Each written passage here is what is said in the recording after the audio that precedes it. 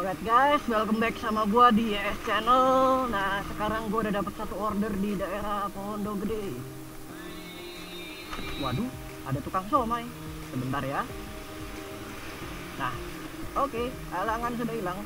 Nah, ini gua dapet lumayan di gua nggak tahu kilonya sih, cuman ini kurang lebih 15 ribuan ke daerah Pahlawan Revolusi dari Jatiwarna. Buat yang pengen tahu lanjutannya gimana ini termasuk masih dalam sosial eksperimen gua. Nanti akan gua taruh di part 2 ya. Terus pantau dan buat yang belum like, subscribe, and comment bisa dibantu biar gua tetap bisa bikin video-video lagi yang berguna buat informasi kalian semua Permisi. Misi, Pak. Iya, mohon maaf. Gua lewat gang dan ternyata gangnya lagi rame. Mungkin lagi ada acara ya.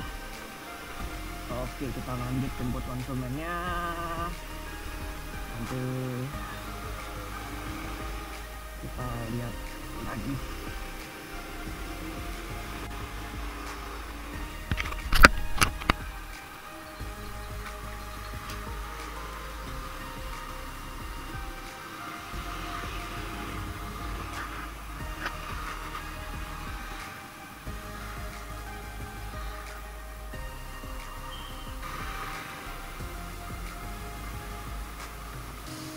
Eta buset, gue mau nyebrang gak dikasih-kasih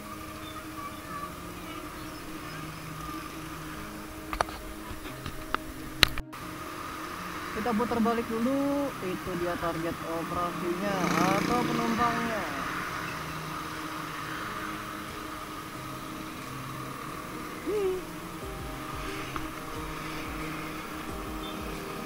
Malam, Mbak Novi ya? Iya mbak, tujuannya ke rumah sakit Bunda Alia ya? Pondok Bambu ya? Ayo mbak. Eh.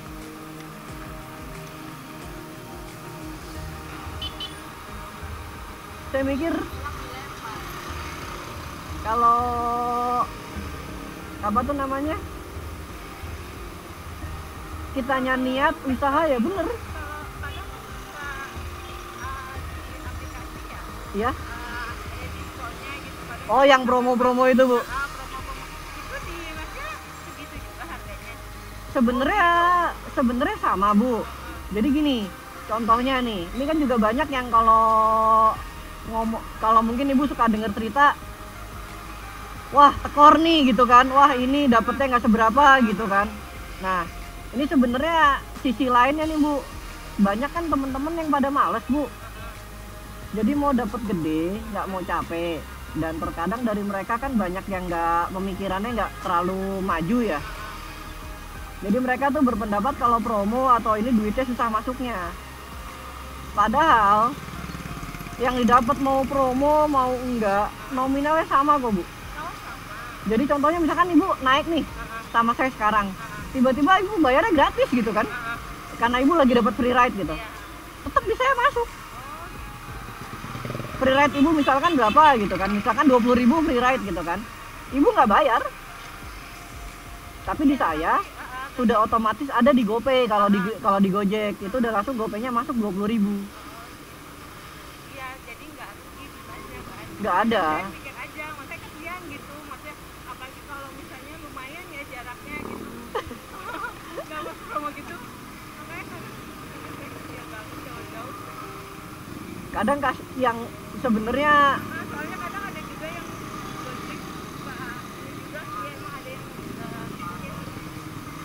pada suka ngeluh sih bu. Gitu. rata-rata dari mereka kan mikirnya gini dapat sehari ya buat hari ini besok cari lagi. Jadi karena suka tekornya dari situ. Tapi kalau yang istilahnya yang bisa ngitung ya paling enggak gue dapet sehari sekian yang harus disimpan buat modal besok atau buat itu berapa? Duitnya lumayan kok bu. Iya, ada itu mainnya gitu. Kalau kayak gitu susah ya. karena orang orang dulu kan eh, yang udah besok urusan ntar. kerja untuk hari ini gitu. Iya, besok urusan ntar. Makanya kayak yang tadi saya bilang bu. Gojek itu kayak usaha kalau mentalnya mental pegawai yang dapat sebulan digaji sekian ya takutnya ya dia mis mis hitungan. Nah kalau saya senangnya mencar bu. Saya nggak suka mangkal. Ya mungkin mereka yang pada mahal kali ya Nah, kalau mangkal kan kita menunggu bola istilahnya, Bu. Kalau emang kalau tipenya saya karena saya ngincernya duit, orientasinya kan buat keluarga, buat kuliah gitu kan. Nah, sementara belum lulus gitu kan. Ya, saya kalau udah berhenti cukup lama saya geser, Bu. Cari tempat yang pastinya banyak ordernya kayak mall atau apa pasti ada. Dan sebisa mungkin order itu kita nggak pernah nolak, Bu semakin bagus performanya istilahnya kalau pas kita dikasih order kita ambil terus-terusan itu kita dapat terus tapi kalau yang suka milih order ya udah alamat. Sama kalau yang handphonenya pakai aplikasi aneh-aneh ya bu ya. Yang kadang suka pakai tuyul-tuyulan lah apalah fake GPS segala macem. Nah itu kan sebenarnya bikin berat handphonenya. Jadi bukan salah servernya salah handphonenya handphonenya nggak kuat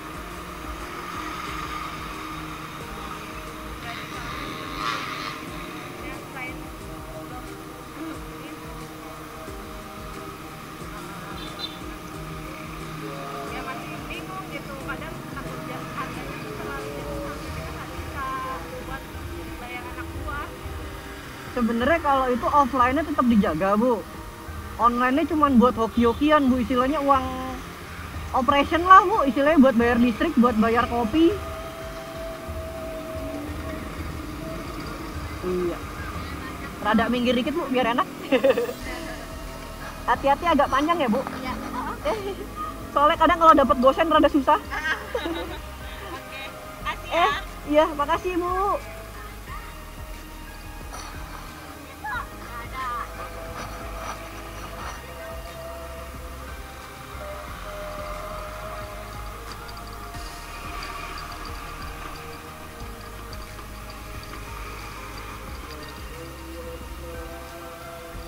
Oke, trip detailnya di sini di 15.200 ya.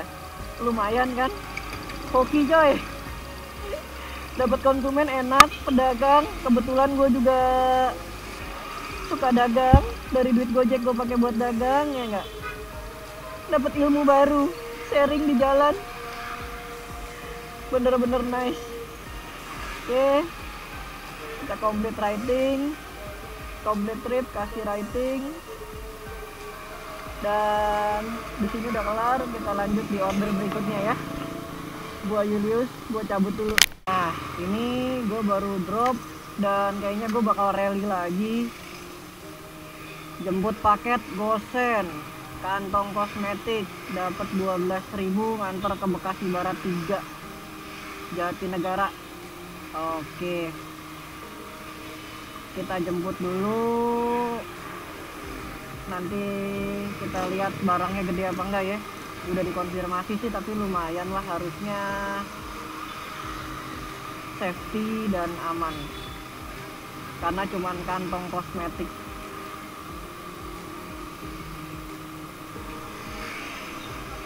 Ayo mbak.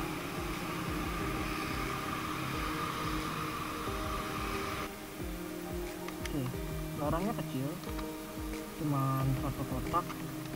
Anternya ke Jatinegara. Dapat 20 ribu lagi, langsung dibayar.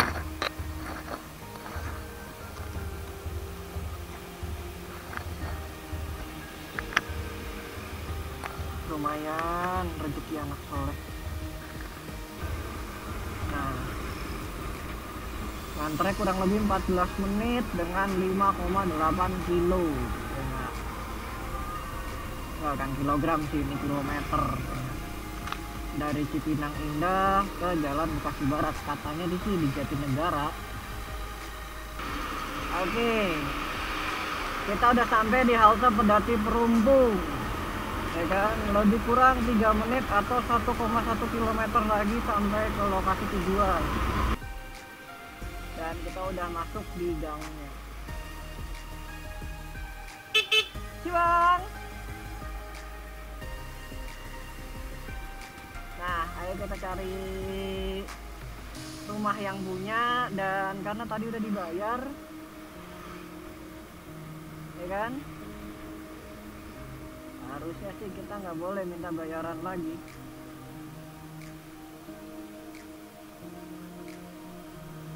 Dan ternyata gua salah gang harusnya gangnya satu lagi. Tapi gua kecepatan jadi gua keluar lagi dan gua belok lagi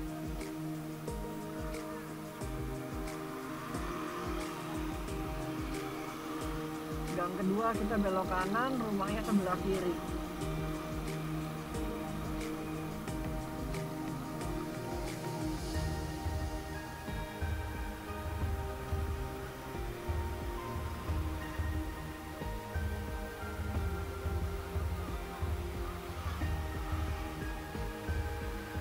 Harusnya rumahnya nggak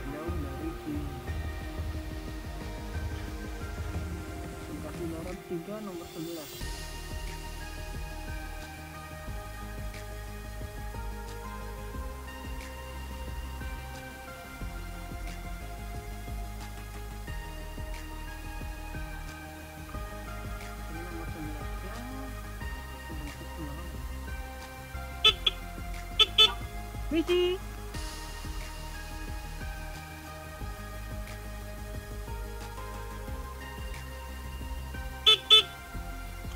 Misi Gojek.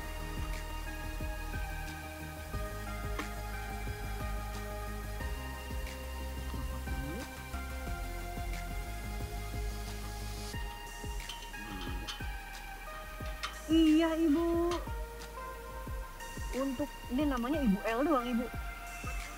Oh Bu Lucy maksudnya ya. Kalau ibu L aja. Oke Ibu sebentar. Nama penerimanya siapa ibu? Kalau boleh tahu? Ibu Ani ya. Iya udah mau nyampe. Kemu- kemungkinan dia ngeliat. Oke sudah dibayar ya bu ya? Sudah dari sananya. Dari tadi di Cipinang. Ya makasih ibu oke guys gua udah dapat satu lagi. Itu dapat orang ke jalan koperasi. Gue sih sebenarnya nggak tahu jalan koperasi di mana tapi katanya suruh jemput di Starbucks. Dilihat dari tarif 10.400 gua rasa nggak jauh-jauh amat jadi ya ambil aja lah. Rezeki nggak boleh tolak kecuali tokonya kagak ada tokonya nggak jelas ya atau ordernya habis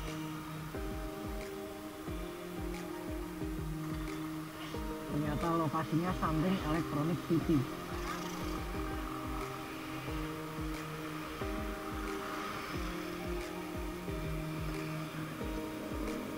naik dulu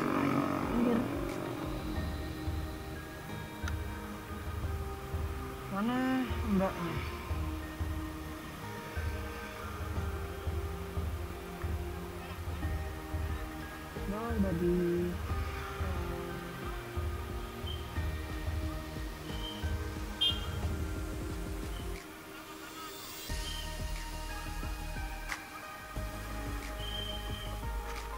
Yan.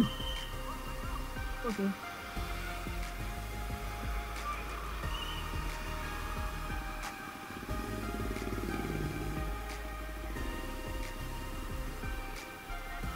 Oh, iya Mbak.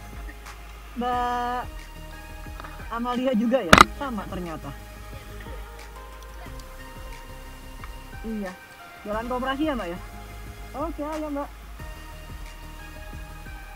Jalan. Iya.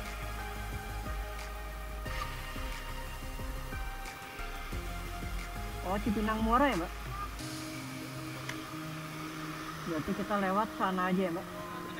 Lewat sana aja kan? Lebih enak. Apa mau lewat belakang sini? Bebas sih Sama-sama muter sih. Ya udah, ngikutin yang sana aja lah. Biar gak bingung. sebenarnya sama aja sih mau lewat sana mau lewat sini iya tebet ngeselin beneran dah Ini paling enak masuk sini masuk sini masuk underpass. Udah tinggal lurus ya. Sampai dah kita ke Cipinang Muara